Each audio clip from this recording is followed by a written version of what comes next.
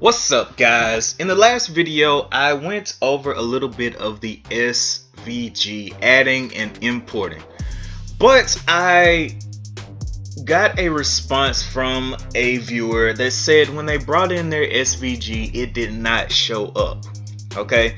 So the reason that I'm thinking that it did not show up is because it wasn't attached or the layer that they created didn't have any features in it so with the SVG, when you add it to a layer, it gets uh, pretty much overlaid onto that specific feature. If it's a point, if it's a line, if it's a polygon, it gets overlaid onto that feature.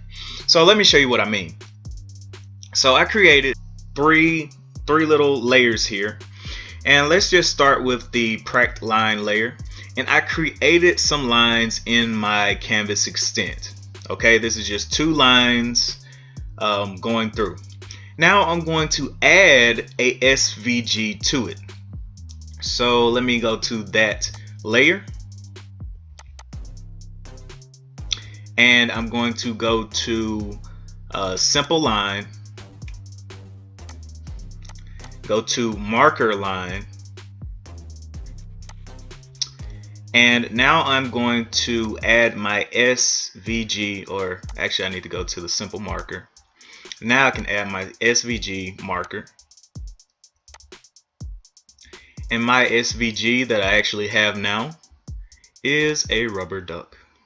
So I'm going to open that and I'm going to say, okay. And out here, I'm going to need to thicken that up and make it bigger. Thicken it up and make it bigger. Simple marker.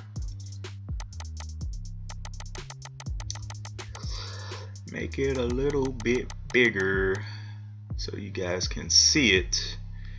And then, let's see, rotation, no rotation. I guess that's big enough to see.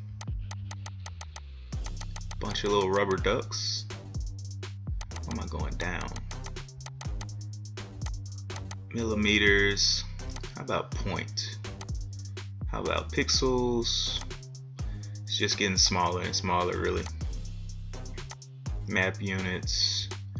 We might just stick with uh oh my goodness. Yeah we're gonna stick with millimeters. Alright so let's go ahead and apply that and look out here at our artwork. It just looks like a yellow line. But if, if we zoom in we can see that it is not just a yellow line. Okay, there are little rubber ducks all along this line, right? Uh, let's go back and see if we can tamper with it some more. So we got our marker line with an interval of three. What if we wanted to widen that interval out? Into like some spaced out rubber duckies. So you can actually see the individual rubber duck. Okay. So whenever you use a SVG it is going to if you want to manipulate it you're going to have to do it in the layer properties but you're already going to have to have a specific um, type of layer created whether it's point line polygon, multi-point, um, multi-polygon, whatever you're creating needs to already be created and then you overlay your SVG on that feature okay? Uh, and it works with any of these. You can just go into their properties and you can kind of manipulate each one of these and um, well each one of these subcategories the the main or the uh, mother category is line. This is a line layer. Under line we have marker lines. And then what is the marker line looking like? Well our marker is this but our marker came from this location our SVG marker. But anyway um, as I go through and kind of mess with these there's so many things that you can do here if you're looking for a permanent solution for your SVG marker. So let's say you have a folder that you know will be the only folder used for your SVG marker. well then you can go to settings you can come out here to options and in your system tab you can go to SVG paths and in these pathways is basically saying okay in this path I have some SVGs I every time that I open QGIS I want this folder to already be in its um in its default uh, SVG, SVG kind of inventory or repository. Let's go to our new path. We'll add a new path and my new path is my rubber duck CSV right out here. Or actually probably, do I want it to be my rubber duck or my QGIS? Yeah, I can, I can do it as rubber duck, whatever. Rubber duck CSV and or not CSV SVG has been added to my pathway here. Okay. So if I hit OK, every time that I open up this file here, and I want to go to my SVG marker, and I go down to this little area, SVG groups. Now at the bottom of my SVG group here, keep going, I have a folder that says Rubber Duck SVG. So this folder, I can bring in whatever SVGs into this folder and it will be imported into my SVG images. And I can select from those images and do whatever I want with them. Alright, so that's kind of what I wanted to show you for a longer term solution.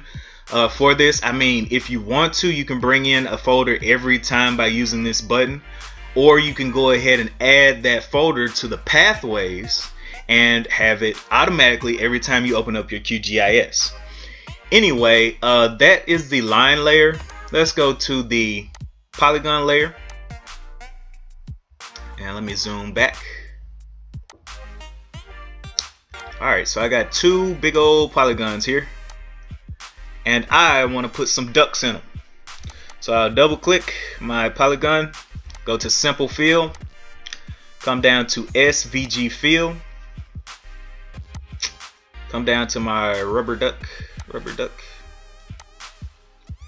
Okay.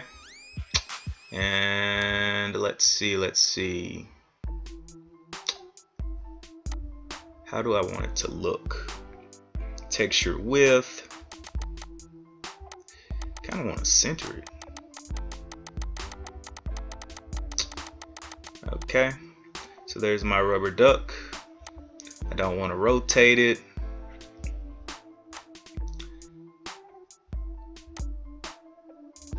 let's just hit OK or apply and see what that does out here. Alright so now my polygon is filled with rubber duckies okay ah isn't that beautiful? Rubber duckies in my polygon right? And again all this manipulation if you want to do any manipulation can be done in your settings. Alright so the last one is my points. Alright so I can click on my points and go to my simple marker, bring down my SVGs, scroll down to my rubber duckies, and bring them in. Rubber ducks, bring them in, apply as a marker, and now you can see those little points there, or maybe you can't. Let me uh, let me do something here. I'll create a scratch layer or not a true layer, a scratch layer. We'll call it polygon. And new scratch layer will be black background.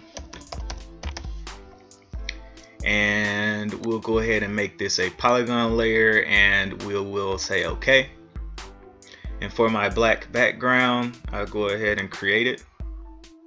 Boom I don't know how even that is. Doesn't really have to be very even because this is just an example.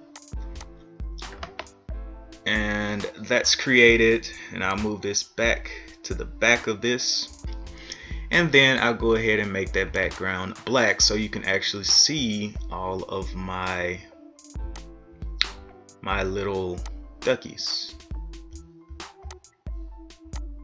All right. Alright, so that is a much better uh, visibility. So let's go ahead and zoom into this.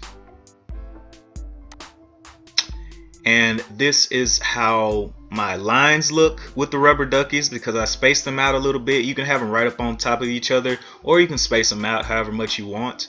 You can also do the same inside of your polygons. Uh, and here are my little points, my little point rubber duckies here. And as you can see uh, by this picture, I like rubber duckies. No, I'm just kidding. This was uh, I grabbed this uh, this SVG offline, online. Uh, it was just a free SVG that I could use in anything, so I don't catch a uh, lawsuit for using a rubber ducky. But anyway, thank you guys so much for watching. If you have any questions or comments when it comes to manipulating your SVGs in QGIS, uh, let me know in the comment section. Don't forget to like and subscribe. And as always, I will see you in the next one. Peace.